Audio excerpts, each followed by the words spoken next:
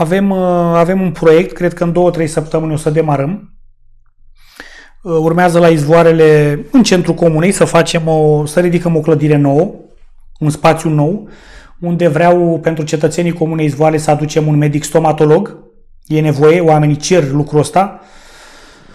Uh, să aducem un notar la izvoarele, ca o dată pe săptămână sau nu știu, o dată la două săptămâni să vină un notar și oamenii să nu se mai deplaseze Uh, să nu se mai deplaseze la Giurgiu, să piardă timp, să cheltuie bani, să aibă acolo, pentru că noi la Izvoarele dispunem de un centru de permanență foarte modern, cu medici care fac 24 de ore din 24 gărzi la, la dispensar, la centru și automat am zis să leg, pentru că tot e în centru comunei, să aduc și un medic stomatolog, să aduc și un notar.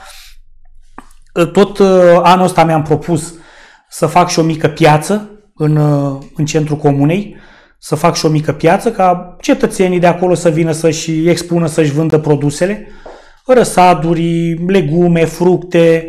E o zonă în plină dezvoltare, să știți, Izvoarele. Este o zonă... Cam în cât timp, mă scuzați că văd, cam în cât timp credeți că va fi funcțională? Pentru că giurgiuvenii sunt foarte interesați de produse de la deci, țară, cum se De spune. la țară. La sfârșitul acestui an va și fi funcțională. nu e departe de nu, Giurgiu. la sfârșitul acestui an va fi funcțională și piețișoara. O piețișoară mică, repet, ca să nu înțelegem greșit și această clădire unde sper ca până la sfârșitul anului să găsim și un medic stomatolog, să găsim și un notar, uh, postul de poliție, uh, așa cum sunt majoritatea în țara asta, sunt jalnice. Și în această clădire pe care am hotărât să o, să o construim, postul de poliție îl voi muta, îl voi muta în această clădire, o, o clădire nouă, un spațiu nou, ca și dumnealor să-și poată desfășura activitatea în condiții normale, optime și firești. Thank you